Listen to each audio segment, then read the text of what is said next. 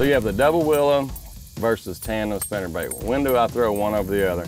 A good rule is whenever you have a tandem, a Colorado on the front, that's gonna create lift. It's gonna let you throw the bait shallower. It's gonna let you throw it around cover, walk it through weeds, logs, and things like that.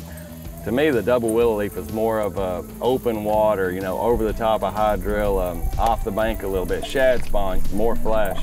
That's the main difference between a double willow leaf and a tandem willow.